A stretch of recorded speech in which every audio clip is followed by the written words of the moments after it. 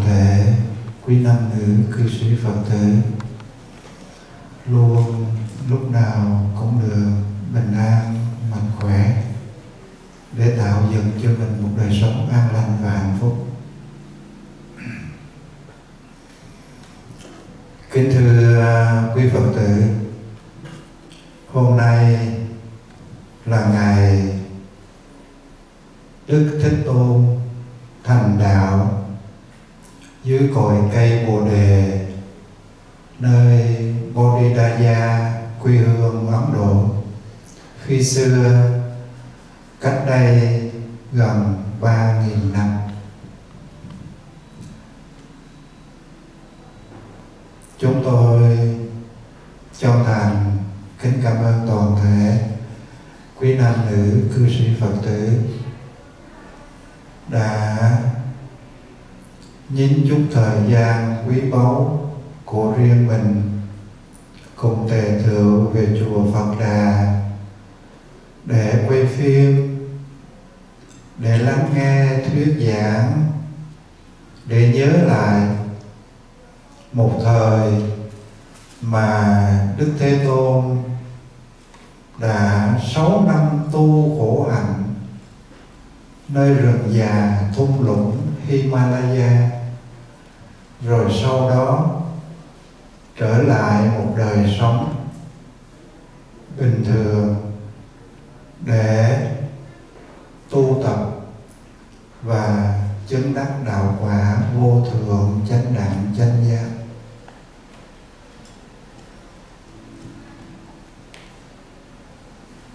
Chính vì lẽ đó mà tất cả các chùa hôm nay phần lớn đều trang nghiêm chương trình lễ kỷ niệm ngày Đức Thích Tôn thành đạo.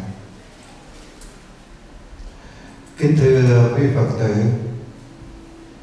từ trước đến giờ những năm trôi qua là người phật tử đều biết và tham dự một cách đông đảo về ngày lễ. Đức Thế Tôn thị hiện vào đời, tức là Phật đản rằm tháng tư, âm lịch. Nhưng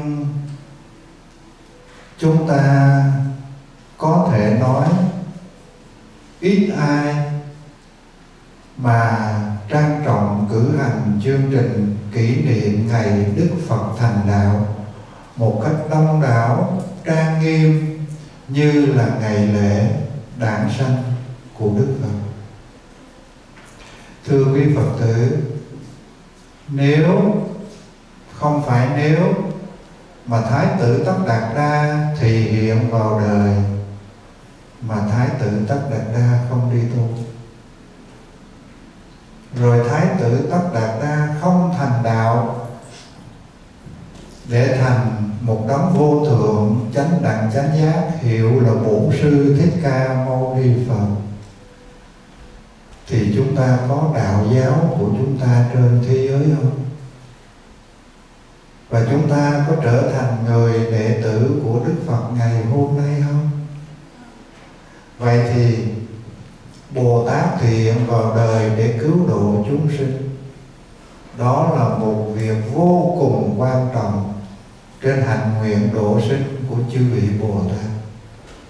Nhưng vị Bồ Tát đó thì hiện vào đời để cứu độ chúng sinh, mà còn thăng tiến trên con đường, chứng đắc quả vị vô thượng chánh đẳng chánh giác là một đấng cha lành muôn thuở chư thiên và loài người mà tất cả chúng ta ngày hôm nay đều hân hoan chào mừng ngày Phật thành đạo.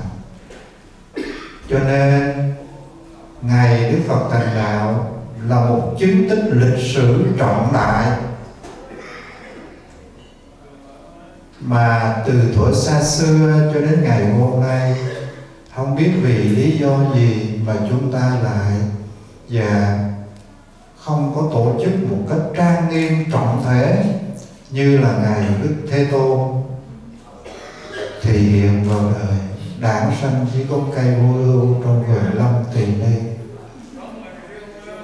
Theo như thầy thấy, những năm tháng trước, mỗi lần mùa Phật đản lại về, quý Phật tử đứng đầy trong ngôi chánh điện này, phải không? Dạ còn tràn ra ở bên ngoài nữa rồi nào là cờ xí, nào là tràng phan bảo cái, nào là ban tổ chức đông đảo chư tôn đức tăng ni về ở nơi đây, để cùng trang nghiêm trọng thể cử hành chương trình kỷ niệm ngày Đức Phật đản sanh. Và thưa quý Phật tử, đến ngày mà thành đạo của Đức Phật, một, hai, ba, bốn, năm sáu và một số quý phật tử nữa còn lại trong ngôi chính điện và theo dõi trên online livestream của chùa.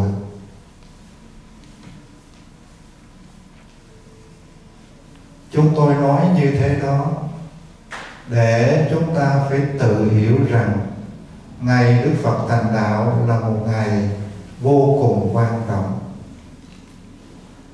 Là ngày mà một con người đi tu, bỏ tất cả những cái gì quyền quý cao sang ngày vàng đêm hồng. Để rồi suốt 49 ngày đêm ngồi tham thiền dưới gốc cây bồ đề, và đến khi đêm cuối cùng sau mai vừa mọc tức là khoảng 5 giờ sáng hay quý Phật tử 4 giờ sáng, thì thái tử tất đạt đa chứng đắc quả vị vô thượng chánh đẳng chánh giác trong suốt 49 ngày đêm đó đã tham cứu thiền định quán chiếu về một tinh thần giáo pháp và tinh thần giáo pháp đó là tinh thần giáo pháp duyên sinh. Tinh thần giáo pháp duyên sinh, một cái to lớn như là cái hành tinh này, một cái bao la như vũ trụ này, như các vì sao trên không gian, hay là những con vật nhỏ nhiệm vi tế như các loài côn trùng bò bay mấy cửa đó, tất cả đều do duyên sinh hết. Không có cái gì mà không do duyên sinh. Nhưng nói đến con người của chúng ta, trên đầu thì có tóc, ở dưới cái trán thì có hai hàm chân mày gập ngang qua, dưới nữa là con mắt, dưới nữa là lỗ mũi, dưới nữa là cái miệng, dưới nữa là cái cằm gộp lại tất cả những yếu tố đó thành cái mặt của con người. Có phải duyên sinh không? Nếu mà cái mặt của con người mà thiếu đi một mắt thì sao? Coi không được. Thiếu đi một lỗ tai cũng coi không được. Vậy thì mắt, tai, mũi, lưỡi, má, miệng, vân vân, đó là những yếu tố để hộp lại làm thành cái mặt của con người hay nói một cách tổng quát là con người. Từ sự nhận chân một cách thẩm thấu như thế đó, một cách trọn vẹn như thế đó, mà đức thế tôn đã triển khai thiền định, phát sinh trí tuệ để thấy rõ được sự vận hành, sự tạo thành sơn hà đại địa hữu tình, vô tình này. Vậy thì ngày kỷ niệm đức thế tôn thành đạo là chúng ta phải quán chiếu lại tự thân tâm của chúng ta, bắt chước theo đức thế tôn thành đạo với cội cây bồ đề, mà suy tư, nghiền ngẫm, quán chiếu từ thân của chúng ta đến tâm của chúng ta đến tất cả những môi trường động vật, sinh động vật, thực vật, khoáng vật, hữu tình, vô tình. Một môi trường sống chung quanh chúng ta hôm nay. Để chúng ta nắm lấy cái yếu tính duyên sinh đó mà chúng ta tu tập để trở thành một con người tốt, một con người hiểu được tinh thần giáo pháp duyên sinh, hiểu được sự tương quan, tương duyên giữa mình với người, tương quan, tương duyên giữa mình với môi trường sống. Mà một thời, đức thế tôn đã quán chiếu để thành đạo dưới cội cây bồ đề thời đó nếu ai trong chúng ta đọc cái lịch sử của đức phật, từ ngày thị hiện dưới gốc cây vô ưu trong vườn lâm tỳ ni, trải qua bao nhiêu thời gian, thời còn nhỏ, sống trong vương thành ca tỳ la vệ được mẹ yêu thương, cha bồng bế và tất cả các vương tôn công tử thời đó đã nuông chiều, đã gần gũi, đã cùng sống với thái tử tóc đạt đa cho đến ngày trưởng thành. Ra thăm bốn cửa thành, thấy được bốn cái cảnh tướng, đó là già, bệnh,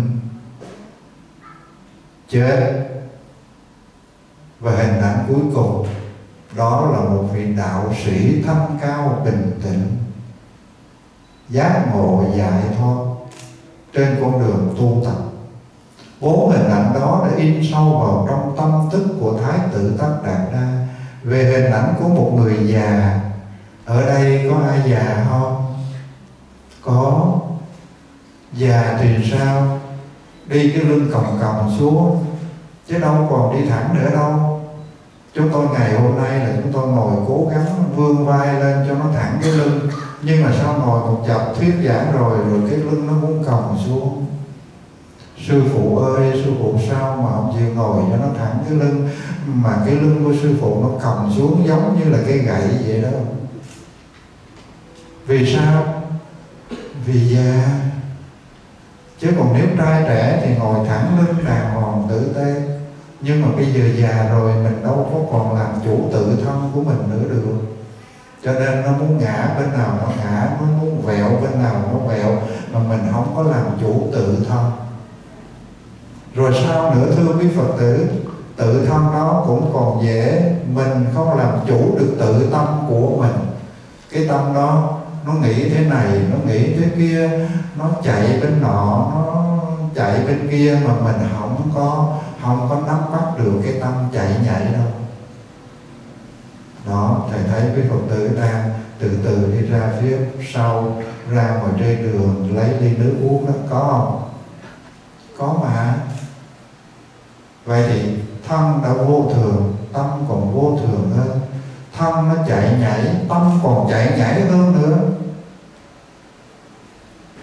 Rồi, bước tới một bước kế tiếp, đó là bệnh vì bệnh cho nên đi chùa ngày hôm nay nhìn cái mái tóc xong mà nó sát sơ nó rối bù. Mà trước khi đi không lấy cái lược chải chải chải lại để cho nó ngay ngắn một chút. Vì bệnh mệt mỏi quá mà đến giờ đi rồi thôi. Cầm chìa khóa ra xe đề máy để chạy vội đến chùa kẻo trễ chương trình làm lễ kỷ niệm. Cho nên nhìn cái mái tóc ở trời, nó sụ sụ sụ sụ lên ở trên trời. Là vì mệt mỏi vì già yếu. Và thưa quý phật tử, nếu bước thêm một bước nữa là thân thể của mình bất động. Cho nên các vị thiền sư khi xưa đã thường hay nói khi mà chúng ta còn sống thì chúng ta ngồi hoài mà không có nằm. Và đến khi chúng ta chết rồi thì chúng ta cứ nằm hoài mà không có ngồi ngày hôm nay quý phật tử còn sống, cho nên ngồi đó và ngồi biết cho đến giờ mãn chương trình lễ thành đạo rồi. Kính mời quý phật tử ra phía sân bên cạnh để ăn bún riêu. Từ những ý nghĩa đó, những giá trị đó mà Đức Phật đã thấy một cách rõ ràng như là chúng ta thấy những cái đường chỉ trên lòng bàn tay vậy đó để rồi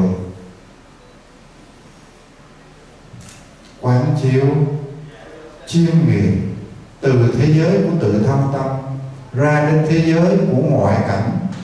Hay xa hơn nữa là sơn hà đại địa, tam thiên thế giới, đại thiên thế giới. Từ chỗ đó, dập tắt được sự khổ đau chấm dứt được vô minh si mê lầm lạc từ nhiều đời, nhiều kiếp. Và đến giây phút cuối cùng, trí tuệ bừng dậy, phá tan màn vô minh đó. Ánh sáng giác ngộ bừng dậy trong tâm thức của thái tử tất đạt đa. Và chư thiên loài người, chúng sinh đang reo vui, này con người ơi. Hỡi chư thiên ơi, một bậc giác ngộ vừa thành tựu, quả vị vô thượng chánh đẳng, chánh giác dưới cội cây bồ đề, là bậc nhân thiên, đạo sư muôn đời của chúng sinh trong tam thiên, đại thiên thế giới này. Gió ngàn reo vui chim ngàn trỗi hót và tất cả chư thiên loài người cung kính đảnh lễ sùng phụng một bậc thế tôn hiện hữu nơi đời. Đức thế tôn hiện hữu ở nơi đời. Đức thế tôn có làm việc gì cho cá nhân của đức thế tôn không? Đức phật thị hiện vào đời.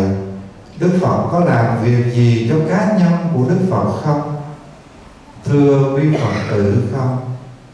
Đức phật mỗi khi làm, ngài đều quán chiếu những việc làm gì trong những giây phút sắp tới. Những con người nào, những chúng sinh nào có nhân duyên với phật và đầy đủ thiện căn, nhân duyên được hóa độ, thì đức phật đều tự thân mình đến để hóa độ chúng sinh đó, con người đó. Như là một thời thuyết giảng, và quý phật tử đã nghe ngang qua câu chuyện anh chàng Amulimala đã đến lúc, đã đến thời hóa độ được, thì Đức Phật đến hóa độ. Dù biết rằng bao nhiêu người cản trở rằng đó là một anh chàng sát nhân, một con người giết người ghê tổn Đức Thế Tôn đừng đi vào con đường đó mà bị sát hại. Nhưng không, vì lòng từ bi của Đức Phật, vì căn cơ hóa độ đã đến mà Đức Thế Tôn đã mang y cầm bát đi vào con đường rừng núi đó để thuyết pháp hóa độ anh chàng Angulimala. Nếu một nhân duyên nào đã đến, dù đó là một con người thuộc về giai cấp dưới, tức là giai cấp thứ tư. Và với cái nền văn hóa của quê hương Ấn Độ thời xưa, hay ngay cả bây giờ cũng vậy. Tinh thần giai cấp và nô lệ đã đặt nặng trên đôi vai và trong tâm thức của người dân Ấn Độ thời xưa. Cho nên giai cấp thứ tư là một giai cấp mà chỉ suốt đời làm nô lệ cho mọi người. Nhưng đến lúc căn cơ chín mùi thì đức thế tôn cũng mang y cầm bát đến để thuyết pháp hóa độ con người hạ cấp đó. Nhưng với cái nhìn của người ấn độ thời xưa thì chia rằng con người có giai cấp con người phải nô lệ những giai cấp dưới, phải phụng sự cho những giai cấp trên. Nhưng mà thưa quý phật tử, đức phật còn nói tiếp, con người ai cũng có dòng máu cùng đỏ và nước mắt cùng mặn. Tại sao phải có giai cấp? Vậy thì ông vua có máu đỏ không? Người nô lệ có máu đỏ không? Ông vua có nước mắt mặn. Người nô lệ có nước mắt mặn không? Đều có hết. Vậy thì tại sao chúng ta lại chia ra giai cấp? Để những giai cấp trên có quyền quý cao sang quyền uy tước cả để mà lấn áp đè nặng hai giai cấp dưới. Cho nên, quý phật tử đã nghe rằng mạnh hiếp yếu kẻ hiền thua dữ ở trên đời chẳng chữ công bằng. Có công bằng không, thưa quý phật tử? Công bằng sao được? Anh mạnh hơn tôi, anh đánh tôi một cái, nghĩa là tôi té liền. Tôi yếu hơn anh, tôi đánh tôi đánh anh ba cái, anh vẫn đứng trơ trơ. Cho nên, mạnh hiếp yếu kẻ hiền thua dữ ở trên đời chẳng chữ công bằng khi mà chúng ta hiểu được cái tính chất đó, ước mong rằng quý nam nữ, cư sĩ phật tử hãy thực tập cho mình một bài học giác ngộ. Hãy thực tập cho mình một bài học giác ngộ. Khi chúng ta đã giác ngộ được những tự tình ngang qua đời sống hàng ngày, thì từ chỗ đó, khi chúng ta hành động, khi chúng ta nói năng, khi chúng ta suy tư chúng ta đều có bài học giác ngộ ở trong thâm tâm của chúng ta, mà chúng ta không có đi quá xa. Khi mà tâm tư của chúng ta không có trong sáng, không được tỉnh giác nó bị mê mờ, tối tăm và nó cứ mãi kéo chúng ta đến bến bờ sinh tử dẫu biết rằng ngày hôm nay chúng ta sinh ra, chúng ta có sự sống. Nhưng mà ngày mai kia, chúng ta già, chúng ta bệnh, chúng ta chết. Có nghĩa là chúng ta chuyển đổi cái con đường sinh tử. Nhưng không phải vì chuyển đổi cái con đường sinh tử đó mà chúng ta không tu. Bởi vì con người sinh ra ai cũng chết rồi bây giờ tu cũng chết không? Tu cũng chết. Phải không? Mình sống cho thoải mái, mình sống cho cho cho theo cái ý nghĩ của mình. Muốn làm gì thì làm. Muốn như thế nào thì làm như thế đó cho thỏa thích. Nhưng mà thưa quý đạo hữu, sự thỏa thích đó chỉ làm tác hại cho mình đời này và đời sau. Chứ nó không đem lại một sự lợi ích cho mình đời này và đời sau trong công việc hàng ngày, thầy tiếp xúc với quý phật tử làm việc cho chùa. Nếu một thời gian nào đó mà tâm tư của người làm việc đó thanh thản, tươi mát, nó hiện ra cái cử chỉ trong lúc làm việc cũng thanh thản, cũng tươi mát. Nhưng mà nếu trong giờ phút đó tâm tư của mình nó bị u sầu, nó bị buồn phiền, thì cái u sầu và buồn phiền đó nó cũng toát ra từ cái sự làm việc của mình. Nhìn cái khuôn mặt giống như là cái bánh bao buổi chiều. Mà nó không có tươi tắn gì hết trơn, nó không có dễ thương gì hết trơn. So với ngày hôm qua kia, mình nhìn thấy một con người sao mà thấy khuôn mặt mát mẻ quá cử chỉ thế dịu dàng dễ thương quá. Nhưng mà cũng con người đó ngày hôm nay thì cái mặt giống như là mất số gạo vậy đâu có ai làm gì mình đâu nhưng mà vì mình buồn mình mệt mỏi mình đói mình khát hay lý do nào đó và để làm cho mình không được tươi tắn êm dịu mát mẻ cho lắm chúng ta hãy quán chiếu lại cái hình ảnh của đức thế tôn đang ngồi thiền dưới cội cây bồ đề. Và hình ảnh ngày hôm nay, quý phật tử đã thấy quý thầy cô và trang hòn thiết trí một cách đơn sơ như thế đó. Nhưng quý phật tử nhìn lên có thấy đức thế tôn đang thành đạo với cội cây bồ đề không? Thấy không? Và ngồi xếp bằng giống như quý phật tử. Ồ, không phải, quý phật tử ngồi xếp bằng giống như phật. Cũng ngồi xếp bằng lại để chân lên và mắt liên diêm nhìn xuống một cách thanh thản, nhìn khuôn mặt an lành. Và hình ảnh Đức Thế Tôn ngồi thiền dưới cội cây Bồ đề là một hình ảnh mà chư thiên nhân loại trải qua bao đời đã đảnh lễ tôn xưng là một bậc vô thường chánh đẳng chánh giác. Hình ảnh đó đã có trên những quê hương của đông phương. Và hình ảnh đó đến giờ phút này đã có mặt khắp nơi trên những quốc gia của tây phương. Những quốc gia ở đông phương của chúng ta, không phải là của chúng ta, của chung mọi người, đã theo đạo phật từ xa xưa, đã trở thành những người nam nữ cư sĩ phật tử thuần hậu, phát tâm hộ pháp đối với đạo giáo, bao nhiêu nghìn năm rồi. Nhưng bây giờ hình ảnh Đức Thế Tôn ngồi thiền với cội cái bồ đề trên dòng sông đi liên thiền trong đêm thành đạo đó, đến giờ phút này đã đi sâu vào tâm thức của những người dân bản xứ Tây Phương, của thế giới Tây Phương này. Và những người dân ở thế giới Tây Phương này đang chiêm nghiệm đảnh lễ quy ngưỡng qua hình ảnh Đức Thế Tôn thành đạo với cội cây bồ đề trên dòng. Bờ sông đi liên thiền đó. Không phải chỉ một người quy kính, không phải chỉ một người chiêm chiêm nghiệm, mà rất nhiều người đối với thế giới tây phương ngày hôm nay, họ đã bị cuốn hút bởi hình ảnh đức thế tôn thành đạo dưới gốc cây bồ đề đó.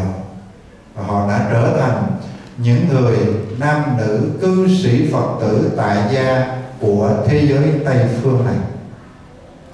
Và tinh thần giáo pháp của đức thế tôn được thuyết giảng không phải nó chỉ gói gọn trên những quê hương của đông phương.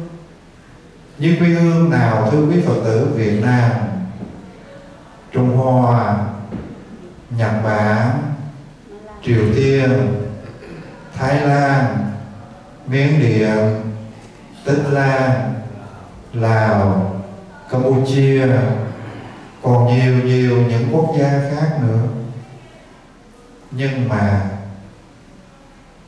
ngày hôm nay những quê hương của Tây phương như Mỹ, Canada, Âu Châu nhưng mà thưa quý Phật tử khi nói Âu Châu trong đó có nhiều quốc gia lắm. Chỉ Âu Châu là mình nói chung cái cộng đồng và Âu Châu mà trong cộng đồng Âu Châu đó, và nó có nhiều nữa, kể cả những quốc gia mà những quốc gia đó thuộc về Tây Âu, thuộc về Bắc Âu. Yeah. vậy thì, hình ảnh của Đức Phật thành đạo dưới cội cây Bồ đề là tuyên đọc bức thông điệp giác ngộ. Tuyên đọc bức thông điệp giác ngộ cho chư thiên và loài người bức thông điệp giác ngộ đó, Đức Phật đã nói, khi xưa, Như Lai là một chúng sinh. Nhưng trải qua suốt cả một thời gian tu tập, Như Lai đã trở thành một bậc vô thượng chánh đẳng chánh giác. Vậy thì ngày hôm nay chúng ta là một con người thưa quý phật tử, chúng ta có tu tập được không? Quý phật tử trả lời, tu tập được. Tu tập được có nghĩa là ăn hiền, ở lành có nghĩa là giữ ba nghiệp thanh tịnh. Và nhờ giữ được ba nghiệp thanh tịnh cho nên con không làm các việc ác, con nguyện làm các việc lành. Con luôn luôn giữ tâm ý được trong sạch mà giờ giữ được tâm ý trong sạch, ba nghiệp thanh tịnh đó mà trở thành một bậc thánh. Và khi chúng ta đã trở thành một bậc thánh là sinh tử chúng ta chấm dứt. Phiền não chúng ta đoạn tận, vô minh chúng ta không còn. Cho nên, ngày đức phật thành đạo là một ngày đánh dấu cái lịch sử tu chứng của đức thế tôn. Mà ai trong chúng ta làm phật tử cũng đều đọc cái dòng lịch sử đó, cũng đều hiểu được cái công trình tu tập của đức phật như thế nào. Mà nếu chúng ta nhìn lại cái dòng hình ảnh của dòng lịch sử đó, trong 6 năm tu khổ hạnh ở thung lũng Himalaya thời đó thì quý Phật tử đã thấy được rằng hình ảnh của Thái tử tóc Đạt na nó gầy gò. Nó ốm o. Còn da bọc lấy xương thôi.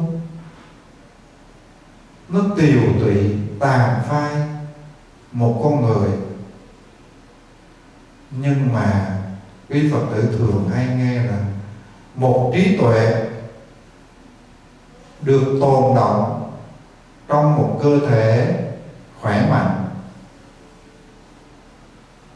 sang suốt. Một năng lực sống được chứa đầy trong một con người an lạc, bình yên. Một sức sống mà thiếu đi thì làm sao con người có đủ cái năng lượng để chuyển tải cái tâm tu tập để chuyển mê thành ngộ, để chuyển phàm thành thánh được? Một thân thể yếu đuối, gầy gò, không thể làm được việc gì ngay cả đời sống hàng ngày. Chứ đừng nói rằng phát sinh trí tuệ để chứng đắc quả vị tối tôn, tối quý. Cho nên trong đời sống, quý phật tử, ngày ăn mấy bữa, buổi sáng một ly cà phê, một ổ bánh mì, rồi buổi trưa hai chén cơm, buổi chiều một tô ốc biêu có đúng không? Mà nếu chúng ta có ăn gìn giữ cơ thể của chúng ta tương đối như thế đó thì chúng ta mới khỏe, chúng ta mới mạnh, chúng ta mới ngồi thiền, chúng ta mới phát sinh ra trí tuệ. Từ ý nghĩa và giá trị đó mà dòng lịch sử của thái tử tất đạt ra để lại cho chúng ta thấy một bài học thực tế, cụ thể khi mà chúng ta săn sóc tự thân của chúng ta. Chúng ta không có say đắm, hưởng thụ trong tự thân này mà chúng ta cũng không có khổ hạnh ép sát đối với thân tâm này. Từ chỗ đó, tinh thần đạo Phật có một cái pháp môn tu được gọi là trung đạo. Đức Phật thành đạo dưới cội cây bồ đề.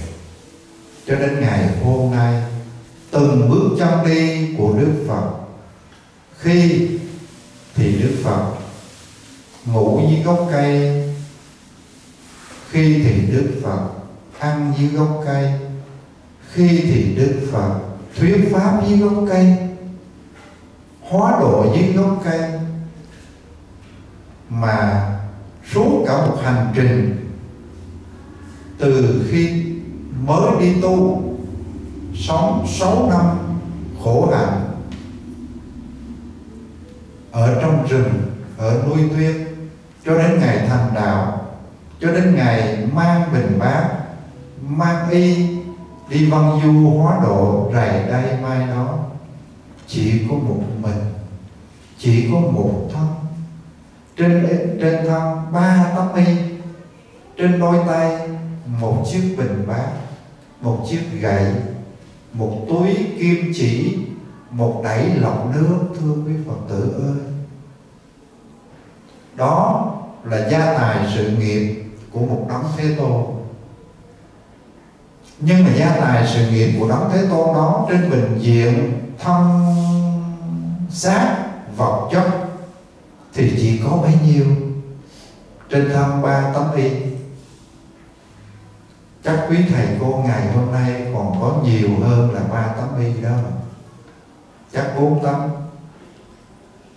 nhưng mà đức phật chỉ có ba tấm thôi. Một cái bình bát để bưng đi xin ăn hết đến nhà của đàn Việt này đến nhà của đàn Việt kia. Hết nhà người Phật tử này đến nhà người Phật tử kia.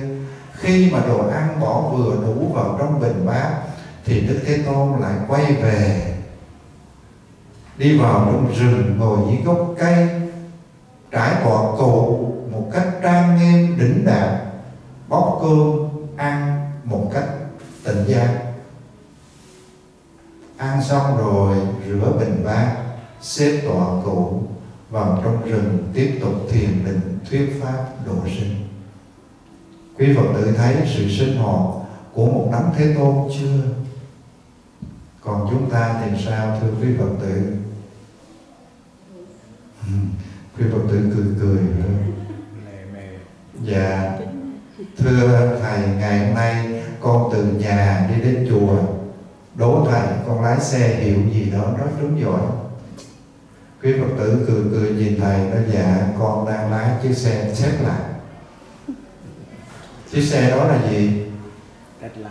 Dạ chiếc xe đó chạy không có người lái. Ghê chưa bây giờ lái mà cũng là biếm lên hai cái tay muốn để bấm bấm quẹt quẹt vậy thôi, chứ còn ông muốn để trên cái cái cái cái tay lái để lái đi. Còn đức phật, sau khi thành đạo, hãy kể cả trong thời gian tu tập nữa, đi bằng đôi chân không. Trời ơi, quê hương ấn độ, nó nắng, nó nóng, nó sỏi, nó đá nó gồ ghề lắm mà đi bằng đôi chân không không biết rằng chúng ta có đi được không? Ai trong chúng ta đã đi hành hương ấn độ giơ tay coi dạ ồ nhiều rồi đó hả? Dạ. Quý phật tử, thấy đường đất của ấn độ như thế nào? Đất đỏ, sỏi đá, nắng chang chang. Đi từ vương, đi từ thành ca phì la vệ đến thành ma kiệt đà, từ ma kiệt đà đến câu thi na câu thi na đến xá vệ xá vệ đến thung lũng sông hàn. Quý phật tử thấy nó dài nó, nó xa lắm chứ không phải là nó gần đâu. Mà đi đâu có nghĩa là đi thẳng một hơi là tới nơi đâu. Ban ngày thì bưng bình bát vào thành khóc thực. Ban đêm thì ngủ dưới gốc cây dù mưa dù nắng. Quý phật tử thấy đời sống của đức thế tôn thương chưa? Có thương không? Còn ngày hôm nay mà chúng ta ở một cái nhà ba phòng, bốn phòng gì đó, mà cái mái nó hư là kêu thợ đến sửa liền. Thợ sẵn sàng đến cầm búa, cầm đinh đến và sửa cái mái nhà đó cũ trở thành mới. Dột trở thành hết dột và chúng ta sống một cách ấm êm. Còn đức thế tôn, ngủ dưới gốc cây, lấy tàn cây làm nhà, lấy gốc cây làm làm giường lấy ba y làm mời để thắp ấm rồi khát nước thì xuống dưới ruộng, ở những lỗ nước trong trâu, múc nước đổ vào trong cái đẩy lọc nước rồi buông. Xuống dưới sông múc nước, rồi buông. Quý phật tử thấy thương không? Một vị vua, một thái tử của hoàng triều, bỏ hết. Không có giữ một cái gì cho đời sống riêng cá nhân của mình. Giày cũng không mang, mũ cũng không đội, vương vào cũng không mặc, xe ngựa tốt đẹp cũng không đi. Đó là thực tế đời sống của một đấng thế tôn.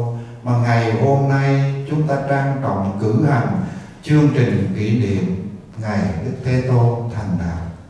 Để nhắc lại một vài điều, cũng như nêu lên một vài nét hình ảnh đức thế tôn thời xưa, để rồi từ chỗ đó chúng ta học phật là chúng ta phải học những gì mà một thời đức thế tôn đã dàn trải suốt cả một dòng lịch sử 80 năm ở với đời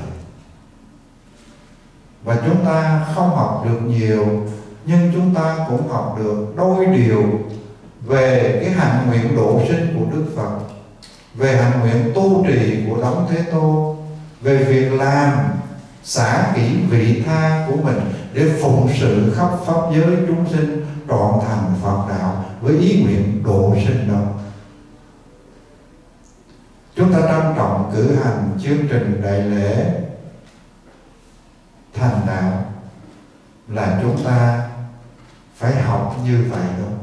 mà nếu chúng ta có học được những điều mà Đức Thế Tôn đã thuyết giảng, Chúng ta học được những điều gì mà Đức Thế Tôn đã tu tập, Chúng ta học được những điều gì mà Đức Thế Tôn đã chứng đắc Trở thành quả vị vô thượng chánh đẳng chánh giác, Thì quả thật rằng chúng ta mới trang trọng cử hành chương trình kỷ niệm ngày Đức Thế Tôn thành đạo Mới đầy đủ ý nghĩa và giá trị trên tự thân tâm của chúng ta.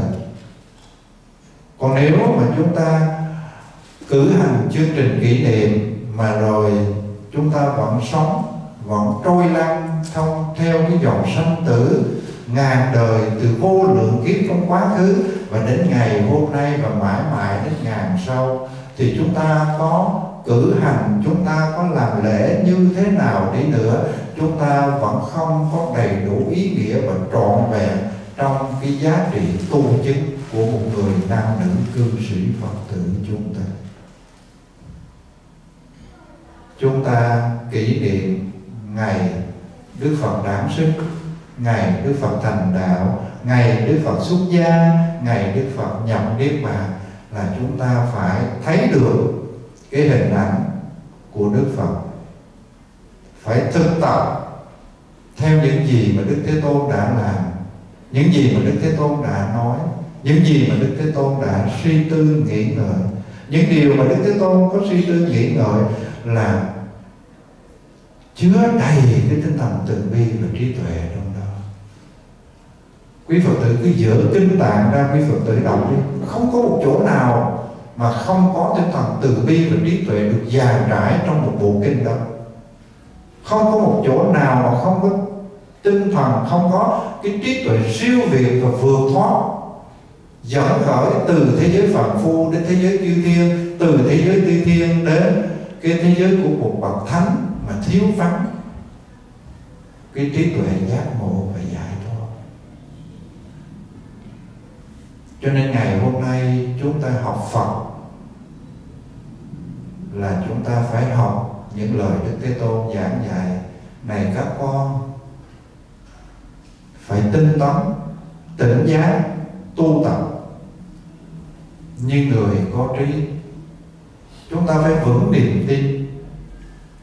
Một niềm tin kiên cố, bất thối trong tam bảo, như là tảng đá kiên cố, không gió nào lay động.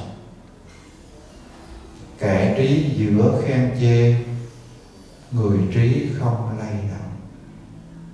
Quý phật tử làm được không? Hay là vui vui thì không có lay động nhưng mà khi buồn thì lay động dữ lắm. Hay là mình bất đồng với nhau thì mình lại lay động dữ lắm. Cho nên đó là khuôn vàng là thước ngọc trong đạo giáo của chúng ta. Hãy chúng, chúng ta hãy lấy nó làm cái thước cái khuôn để mình đo cái lòng của mình, để mình làm cương lĩnh lề lối cho đời sống hiện tại của chúng ta hôm nay. Chân thành kính cảm ơn toàn thể quý nam nữ cư sĩ phật tử có mặt ở nơi đây, hay đang theo dõi cái chương trình trên livestream mà chùa Phật Đà đã có lời mời quý Phật tử về ở nơi đây để cùng kỷ niệm. Biết ơn, nhớ ơn và đền ơn Đức Thế Tôn đã thành đạo, đem giáo pháp giác ngộ và giải thoát, trang trải đến cho tất cả vạn loài chúng sinh trong đó có chúng ta. Nguyện hồi hướng hết tất cả mọi công đức này, đến với quý nam nữ cư sĩ phật tử luôn được khỏe mạnh. Khỏe mạnh nghe khỏe mạnh nghe con. Luôn được khỏe mạnh. Để chúng ta có được một đời sống an lành, hạnh phúc, nơi tự thân, nơi gia đình, nơi bà con, nơi quyến thuộc, nơi làng nước, nơi xã hội, chúng ta đang sống và cũng nhân nơi đây, chúng ta thành tâm cầu nguyện cho thế giới được an hòa, cho dịch bệnh sớm chấm dứt, để cho các em, các con của mình nó cấp sách đến trường, trở lại một sự sinh hoạt bình thường của một người học sinh. Và tất cả quý cụ quý ông quý bà luôn được khỏe mạnh, mà không có số thì đau, tối thì bệnh. Mà cái con dịch bệnh đó, nó đang hoàn hành. Đến từ thân của mỗi người, từ thân của chúng ta, hôm nay nhắc tâm đảnh lễ mười phương chư Phật. Gia hộ cho chúng ta. Hãy suy tư những điều thiện. Hãy nói năng những việc lành. Và hãy làm các điều có lợi ích cho tự thân, cho tha nhân trong thế giới bất toàn hôm nay. Để trở thành được sự an toàn, được sự bình yên, được hạnh phúc ấy là tâm nguyện của chúng ta nhân mùa kỷ niệm Đức Phật thành đạo Phật lịch 2565 Nam mô chứng minh sư Bồ Tát Ma Ha Tát. Kính chúc toàn thể quý Phật tử vô lượng an khang các tường như ý. Và tiếp theo chương trình là chúng ta làm lễ kỷ niệm ngày Đức Thế Tôn thành đạo, tụng bài sáng thành đạo mà quý Phật tử đã có trước mặt. Nam mô A Di Đà Phật. Tam đại chứng minh.